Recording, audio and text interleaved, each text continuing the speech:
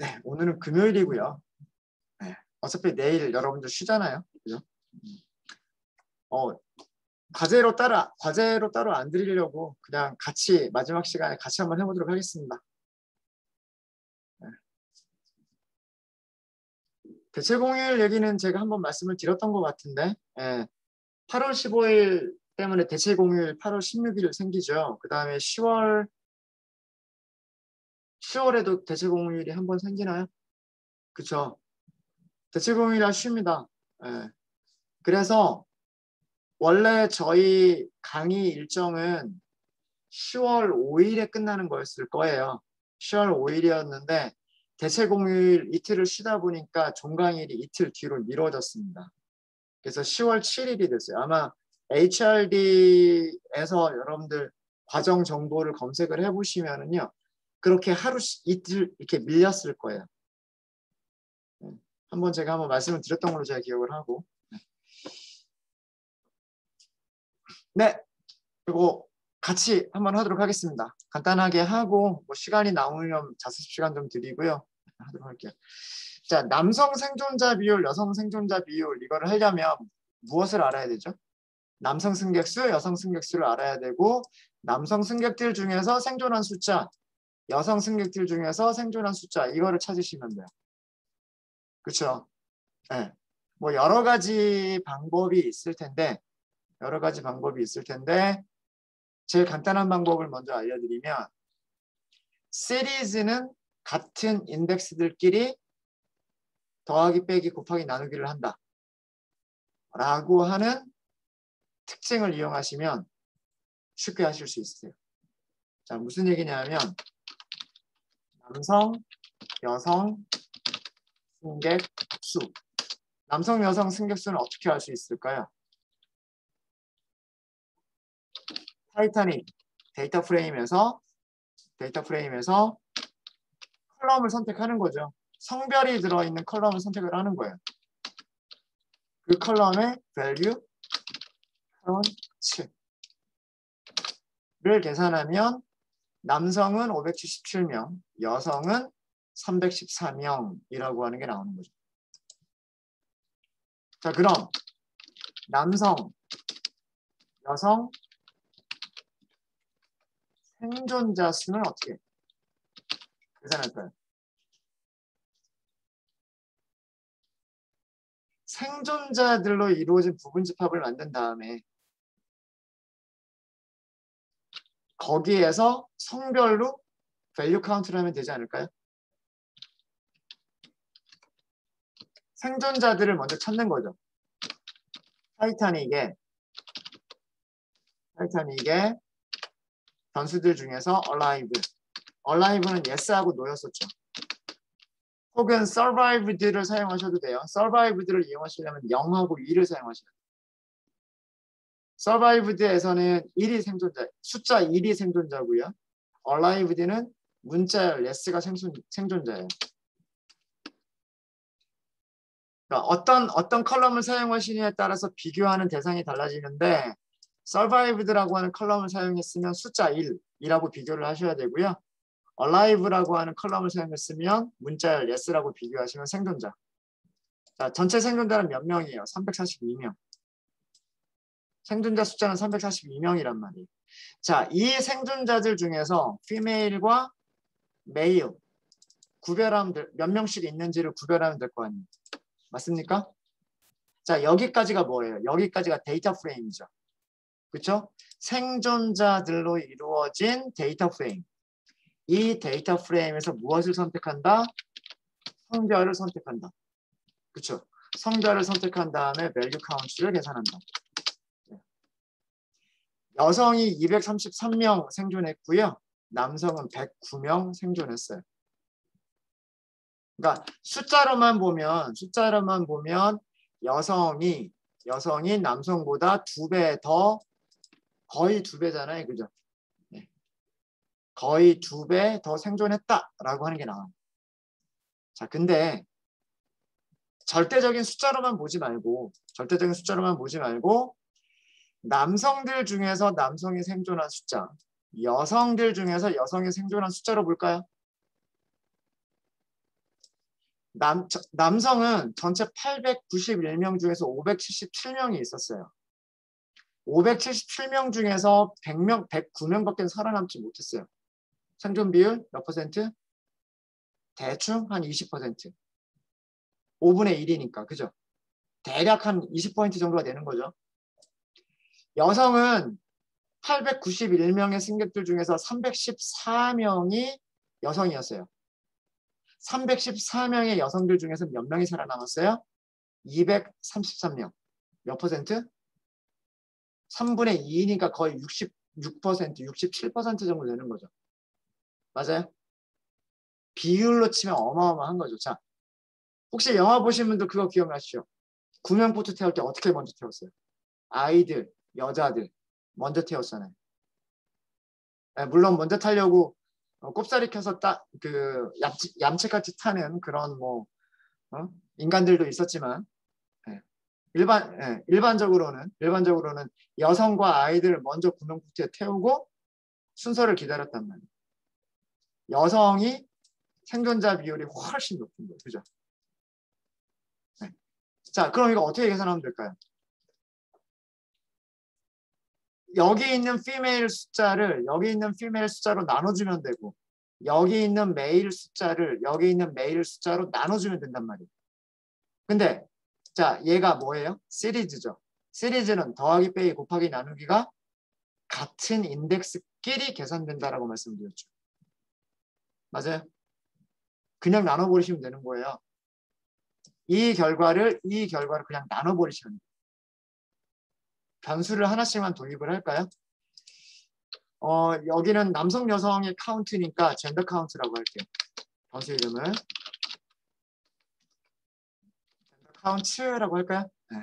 남성 여성 숫자를 센 거니까 이게 변수를 하나 마, 마련하고 gender count 출력을 해보면 아마 똑같은 결과가 나올 거 똑같죠? 똑같은 거고 자 여기도 변수를 하나 선언할까요?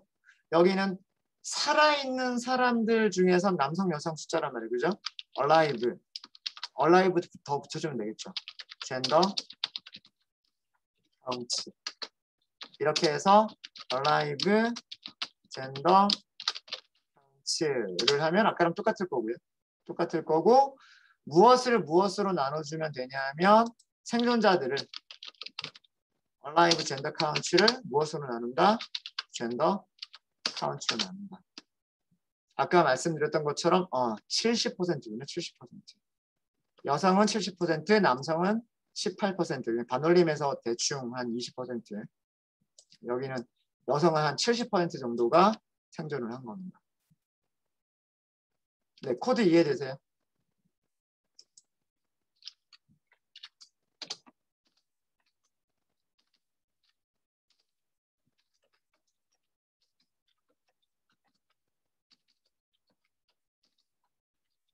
시리즈와 시리즈의 사칙 연산은 산술 연산. 산술 연산이라고 뭐 연산은 연산은 연산은 어떻게 이루어진다? 같은 인덱스의 원소들끼리 원소들끼리 element-wise하게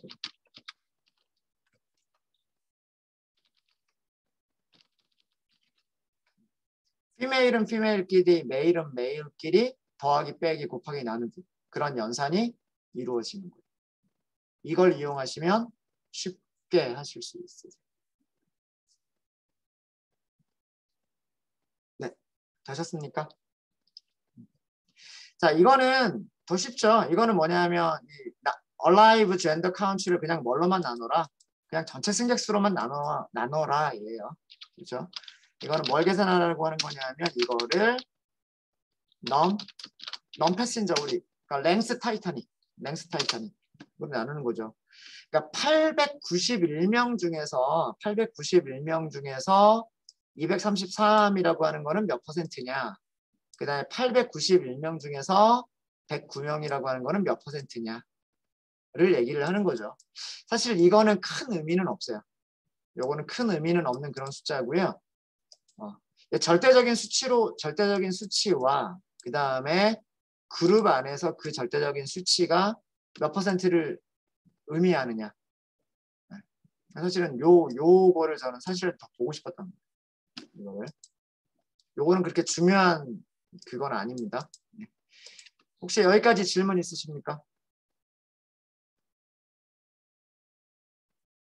네, 물론 물론 숫자를 하나하나 다 그 카운팅을 하셔도 돼요. 어, 성별은 여성이고 그 다음에 alive 생존 여부는 yes인 사람들의 length 계산하고 그 다음에 성별은 남성이고 alive yes인 사람들의 랭스 계산하고 그럼 따로따로 이렇게 계산해서 남성과 여성의 생존자 숫자를 계산할 수도 있겠죠. 아까 여기서 했었던 것처럼 이렇게 여기다 조건 하나만 더 주면 되는 거잖아요. Alive yes고 성별 female, alive yes고 성별 male 이렇게 해서 랭스를 계산하면 남성 생존자, 여성 생존자가 나온단 말이에요. 남성 생존자, 여성 생존자를 뭘로 나누라? 남성의 숫자와 여성의 숫자로 나누라. 그거는 조건 하나씩 들어가는 거죠. 어, 남성, 어, 남성의 랭스 계산하고 여성의 랭스를 계산해서 그걸로 나눠주시면 돼요. 그런 식으로 하나하나 하셔도 좋습니다. 네, 그렇게 차근차근 차근 하셔도 돼요. 그렇게 하신 분들 계시죠? 계시죠? 네, 계실 거라고 생각합니다. 네. 그렇게 하셔도 좋아요. 네, 그렇게 하셔도 되고. 자, 그 다음에 객실 등급별. 그러니까 이거는 1등급 객실의 숫자 생각해야 되죠. 1등급 객실에서 살아남은 생, 그 생존자 수를 계산해야 돼요. 마찬가지로 2등급 객실에 몇 명이 있었는지 2등급 객실에서 생존자가 몇 명 있었는지를 계산을 하는 거란 말이에요. 자, 이거는 이것도 역시 value counts 응용하시면 돼요. value counts 응용하시면 되고요. 타이타닉 데이터 프레임에서 데이터 프레임에서 등급은 P class였었잖아요. P class 맞죠? 그렇죠? 여기에 value count 를 보면 자 숫자는 내림 차순 정렬되어 있기 때문에 1등 어, 뭐 1등급 객실, 2등급 객실, 3등급 객 실 이런 식으로 정렬되진 않아요. 그러니까 등급에 따라서 정렬이 되는 건 아니고 밸류들의 숫자에 따라서 내림차순 정렬이 되어 있어요. 이거는 제가 설명을 드렸죠. 그렇죠? 그래서 그 3등급 아무래도 3, 3등급이 제일 숫자가 많은 거죠. 네, 가장 싼 티켓, 싼 티켓을 가지고 그 탄 사람들이 숫자가 제일 많았고 근데 어, 왜 그런지는 모르겠지만 2등급은 좀 적네요. 그리고 1등급이 좀 많네요. 이거는 그 비싼 티켓을 좀 더 많이 판 거겠죠. 네, 뭐 그런 내용인 것 같아요. 자, 이것도 변수를 도입을 할까요? 어, 이거는 P 클래스 counts 뭐 이런 식으로 변수를 도입할까요? passenger class의 숫자 네, 뭐 이런 이, 그런 개념으로 P class 네, 똑같은 결과일 거고요. 이거 다 더하면 491, 216, 184 다 더하면 아마 891일 거예요. 그죠? 891일 겁니다. NA가 있었다면 이렇게 안 나왔을 거예요. 음. 자, 그 다음에는 뭐 요거는 주석으로 설명을 드리면 각 어, 객실 등급 의 승객수 승객수가 되는 거고요. 그 다음에는 각 객실 등급의 생존자 숫자를 계산을 해야 되는데 숫자를 세, 계산해야 되는데 생존자들 중에서 생존자들 중에서 P 클래스의 밸류 카운트 계산해 버리면 되는 거죠. 그렇죠? 그러니까 아까, 아까 와 마찬가지 방법으로요. 아까와 마찬가지 방법으로 타이타닉 데이터 프레임에서 alive 변수 생존 생존이니까 yes라고 비교하시면 돼요. 여기에서 이게 데이터 프레임이잖아요. 생존자들로만 이루어진 데이터 프레임. 이 데이터 프레임에서 무슨 컬럼? P 클래스 컬럼을 선택하자. 그러면 column 하나가 쭉 선택이 되는 거죠. 그죠? 이 P 클래스 컬럼의 value 카운트를 계산하자. 예요. 1등급의 생존자가 136명, 3등급의 생존자가 119명, 2등급의 생존자가 87명이라는 얘기. 이해되십니까? 예, 이것도 변수를 도입을 할까요? 변수를 도입, alive, 클래스, 원츠 이런 식으로.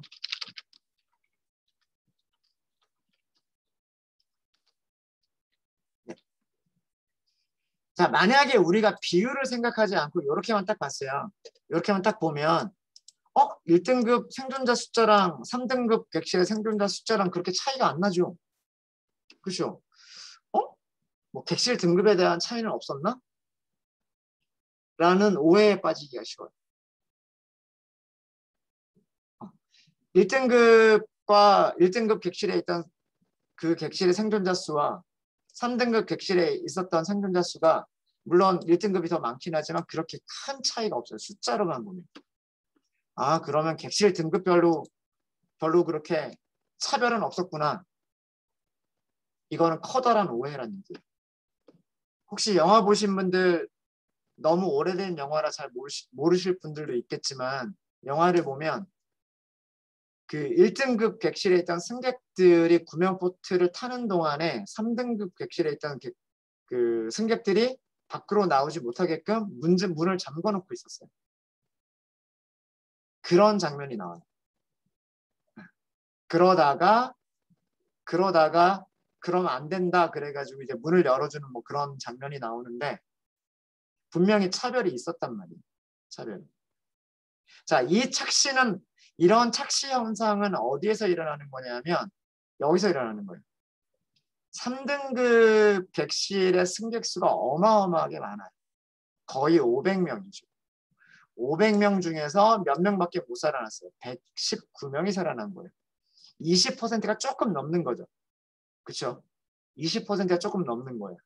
자, 그런데 1등급은 승객 숫자 자체가 자체가 몇 퍼센트밖에 안 돼요? 아, 몇 명밖에 안 돼요? 216명밖에 안 돼요. 그 중에서 136명이 살아났어요.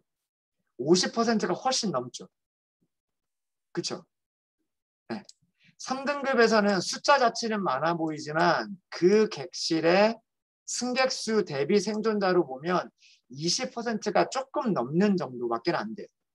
그런데 1등급은 50% 훨씬 더 많이 살아남았단 말이에요. 그러니까 분명히 객실별로 구명보트를 태우거나 어떤 그런 과정에서 차별이 있었다라는 것을 보여주고 있는 거죠. 네, 그거를 확인해 보고 싶었던 거예요. 자, 그래서 이것도 마찬가지로요. Alive P 클래스 카운트를 뭘로 나눠주면 된다? P 클래스 카운트로 나눠주면 된다. 이게 제일 간단한 방법입니다. 이렇게 하시는 게. 자, 아까 제가 말씀드린 거 맞죠? 자, 1등급 볼게요. 100, 110, 아, 136명 나누기 216명. 62.9%. 대략 한 63%. 숫자 비슷한 거 맞죠? 그죠? 네. 자, 2등급. 2등급은 87명 생존, 생존자 나누기 184명. 184에 50%면 92명이잖아요. 92명보다 조금 작죠. 그러니까 50% 조금 안 되는 거잖아요. 40% 후반대죠. 47% 맞죠? 어, 그냥 대충 암산해서 어, 비율 맞는 것 같죠. 그죠? 그 다음에 3등급 119명 생존자 나누기 491명. 아까 말씀드렸듯이 20% 조금 넘을 거예요. 24% 맞죠? 네. 자 이렇게 보면 객실 등급이 높은 사람들이 더 많이 살아남은 거예요. 그러니까 두 개를 조합하면 1등급 객실에 있었던 여성 승객이 더 사, 그, 그렇게까지 줄, 줄이면 1등급 객실에 있었던 여성 승객이라고 줄이게 되면 아마 한 8, 90%는 생존하지 않았을까. 어, 그건 한번 찾아보시면 되겠죠. 찾아보시면. 이렇게 하실 수 있으실 겁니다. 물론 이것도요. 물론 이것도 차근차근 하나씩 하나씩 그 숫자를 다 세셔도 돼요. 1등급 객실의 숫자, 2등급 객실의 숫자, 3등급 객실의 숫자 이렇게 해서 랭스를 이용하셔가지고요. 랭스를 이용하셔가지고 다 일일이 다 세도 되고요. 개수 센 다음에 그리고 생존자 안에서도 생존자 안에서만 다시 1등급 숫자 세고 2등급 객실 숫자 세고 3등급 객실 숫자 세고 그럼 돼요. 그렇게 해서 계산을 하시게 되면 아마 똑같은 결과가 나올 겁니다. 네, 혹시 질문 있으십니까? 자, 그리고 이거는 사실 그렇게 이것도 별로 그렇게 중요한 건 아니에요.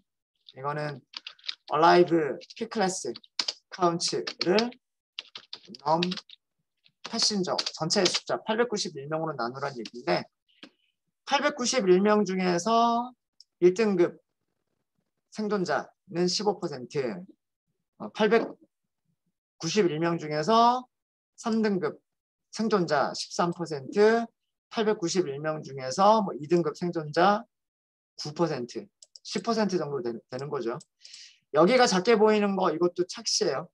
왜 그러냐면 2등급 숫자 자체가 너무나 작기 때문에 2등급 객실에 있었던 승객 자체가 너무 작기 때문에 이거 작게 보이는 것도 일종의 착시입니다. 착시. 그래서 분모를 무엇으로 하느냐 뭐 이런 거에 따라서 어, 다른 어떤 비율 같은 것들이 보이게 되죠. 네, 15세 이하 승객들 중 생존자 비율 찾겠습니다. 자, 이거는 어려운 게 아니고요. 그냥 15세 이하, 이하의 승객이 몇 명이 있느냐. 그 다음에 15세 이하 승객들 중에서 생존자는 몇 명이 있느냐를 알고 싶은 거예요. 그래서 변수 이름을 15세 이하, 이하 승객들을 찾아볼까요? 타이타닉. 에서 타이타닉. 타이타닉. 나이는 어디 있나요? 나이는 age. age. age밖에 없어요. NA가 있어도 이건 없을 수가 없어요. 예. 15세 이하. 15세 이하는 이렇게 하죠. 자, 이렇게 계산하면 에이지 부분 보세요. 에이지 부분 보시면 2살, 14살, 4살, 14살, 2살. 어? 0.83이라고 하는 게 있네요. 8개월? 이런 뜻인가? 뭐 그런 것 같네요. 네. 어쨌든 네. 이렇게 숫자들이 있습니다. 이렇게 숫자들이 있고요. 여기에는 NA는 제거가 됐을 거예요. NA는 아예 비교조차가 안 되기 때문에 비교조차도 안 되기 때문에 그 15세 이하의 승객수가 되는 거예요. 전체 891명 중에서 891명 중에서 83명 그러니까 한 10% 정도 되네요. 그렇죠? 아, 어, 9% 10% 정도가 15세 이하였었네요. 15세 이하. 됐죠? 그럼 여기에 랭스를 구하면 그게 15세 이하 숫자겠죠. 언더 15이라고 할까요? 변수를 변수를 하나 마련하고요. 네. 얘를 저장하지 말고 랭스를 저장하면 되겠죠. 랭스. 랭스를 저장하면 83이라고 나올 거예요. 그렇죠?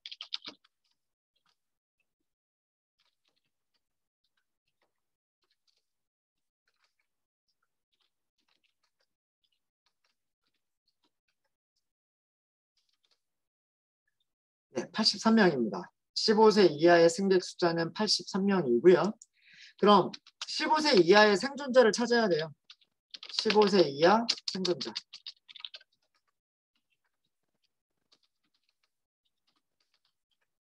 그럼 이거는 두 가지 조건을 다 만족을 해야 되죠. 타이타닉에서 타이타닉에서 15세 이하다. 15세 이하다 and 그리고 생존했다. 라고 하는 두 가지를 만족을 해야 돼요. 그렇죠? 네. 그러면 타이타닉 데이터 프레임에서 나이가 나이가 15세 이하이고 15세 이하이고 그리고 타이타닉에서 타이타닉에서 무슨 변수가 alive 변수가 값이 yes 생존이고 이게 15세 이하의 생존자죠. 그죠? 그래서 나이를 보면 다 15세 이하고요. 생존을 보면 다 예스예요. 어, 생략된 게 없나 봐요. 어, 생, 생략된 게 없, 없, 없나 보죠. 네. 점점점이 없으니까. 여기에 무엇을 계산하면 돼요? 여기에 랭스를 계산하시면 거예요. 랭. 이렇게. 그죠? 그 값을 저장하면 되겠네요. 그죠? alive, alive under 15 이렇게 저장하면 되겠죠. 15세 이하 생존자 숫자입니다. 몇 명인가요? 49명. 83명 중에서 49명이 생존했네요. 비율은 쉽죠? 이제는 alive under 15을 under 15으로 나눠주시면 돼요. 59%가 생존을 했네요. 15세 이하에서는.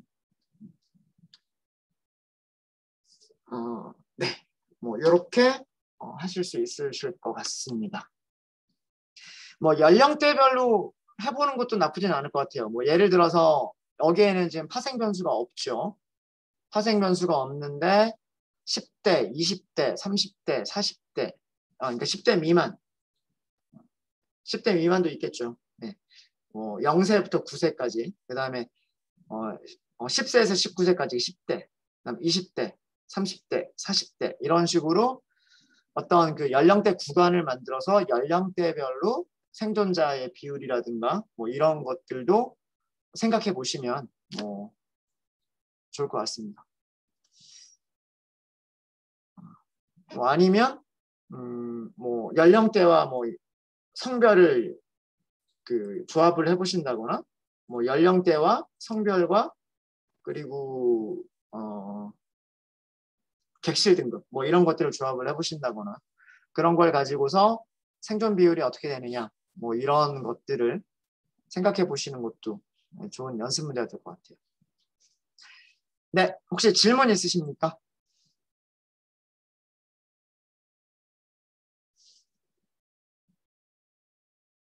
네, 어, 한 10분 정도 남았는데요. 어, 오늘 하신 거 시리즈, 데이터 프레임 두 가지 했잖아요, 오늘. 네. 시리즈, 데이터 프레임 중요한 거는 시리즈와 데이터 프레임은 location, i location이라고 하는 거 있다라고 하는 거. 그래서 인덱스 기반으로 우리가 selecting하는 방법 하고요. 그 다음에 레이블 기반으로 selecting하는 방법, row들을 선택하는 방법이죠. 이거 분명히 차이점 아셔야 되고, 그 다음에 그 boolean indexing. 이거 지금 전부 다 boolean indexing이란 말이에요. 그렇죠? 원하는 조건을 만족하는 행들을 선택하는 방법. 네. 이게 바로 우리가 R에서 했었던 필터라고 하는 함수의 역할이에요. 이 boolean indexing이라고 Python에서 부르는 게 pandas에서 얘기하는 게 R에서 얘기하는 filtering입니다. 그래서 이런 것들을 잘만 이용하시면 원하는 어떤 정보들을 잘 그러니까 조건에 맞는 그런 정보들을 찾아내실 수 있으실 겁니다. 뭐 다른 데이터 프레임 여러분 가지고 계신 것들을 가지고서 연습해 보시는 것도 나쁘지 않을 것 같아요. 우리가 R에서 했었던 거라든가 어, 어, 여기다가 업로드를 하시면 되잖아요. 여기다 파일 업로드 하실 수 있단 말이에요. 여기다 파일 업로드 하신 다음에 뭐 사용하시 해보셔도 되고요. 아니면 Google Colab, Colab 파일을 연결할 때마다 Colab과 연결할 때마다 항상 똑같은 폴더는 자동으로 만들어줘요. 이게 그 연습할 수 있도록 연습할 수 있도록 JSON 파일, CSV 파일, CSV 파일 뭐 이런 것들이 있어요. 이런 것들이 있는데 어, 여기 있는 CSV 파일은 그렇게 만만치는 않을 겁니다. 여기 있는 것들이 그 machine learning 연습용이에요. machine learning 연습용이어서 그 CSV 파일 자체도 되게 크고요. 크고 예. 간단하게 말씀드리면 이 캘리포니아 housing은 미국 캘리포니아 지역의 주택 가격, 주택 가격 예측하는 그런 문제고요. MNIST라고 하는 거는 이미지예요. 그 손글씨 이미지 분류하는 문제의 CSV 파일이에요. 그래서 그거 뭐 이런 것들을 뭐 이용해 보실 수도 있으실 것 같고 연습하실 때. 네, 뭐 한 10분 정도 남았는데 어, 정리하시면서 정리하시면서 질문 있으시면 질문해 주시고요. 주말 동안에 혹시 개인적으로 공부를 더 하시고 싶으시다 라고 하신 분들은 여기를 참조하시면 됩니다. 판다스 홈페이지.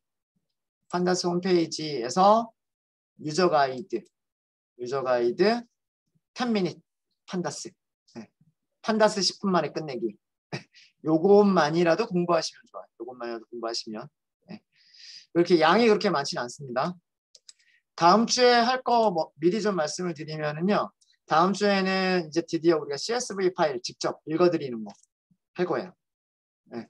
그래서 시, 그 뭐 Google Drive에 업로드를 하든가, GitHub에 업로드를 하든가, 혹은 어, 여기 local session에다가 업로드를 하던가 뭐 그런 식으로 해서 CSV 파일을 가지고서 우리가 read CSV 하고서 그 CSV 파일을 분석하는 것들을 해볼 거고요. 시각화 할 겁니다. 그래프 그리는 거. 어제 잠깐 말씀드렸죠. 매트플러립 잠깐 우리 했잖아요.